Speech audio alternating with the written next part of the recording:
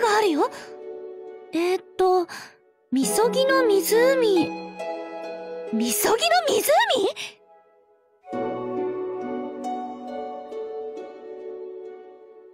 キリトくん？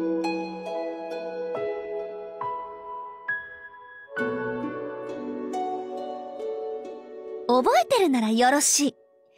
じゃあ、指輪をつけてみよっか。装備品扱いにして、と。ん？何も起こらないみたい。キリト君も装備してるよね？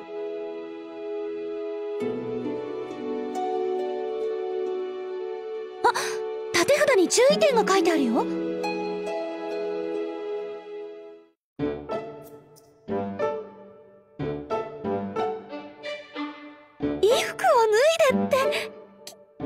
キキリ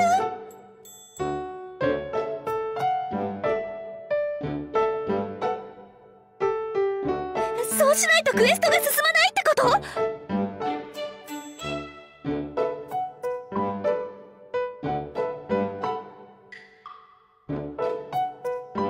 ね、ねえ、これって下着も全解除しないといけないのかな、やっぱり。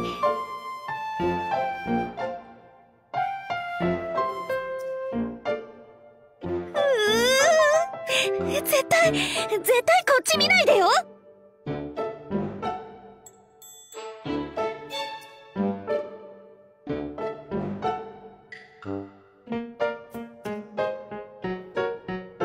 今更とか思ってるでしょう。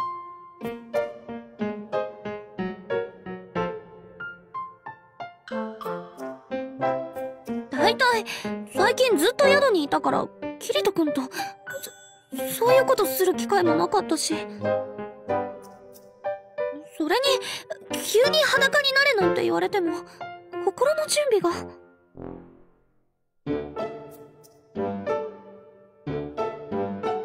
よしそのまま視線は左側に固定じゃあ湖に入るわよ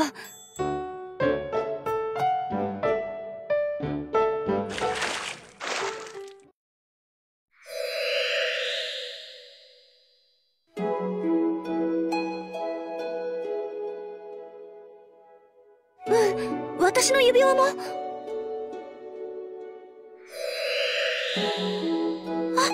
透明だった指輪が薄い水色になった。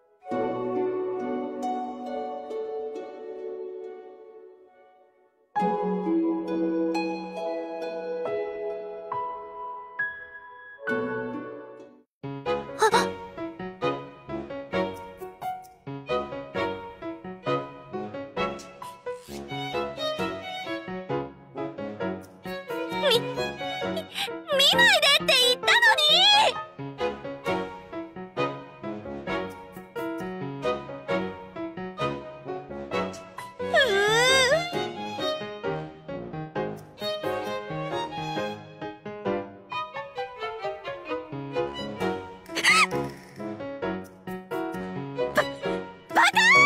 ゲームの中なんだから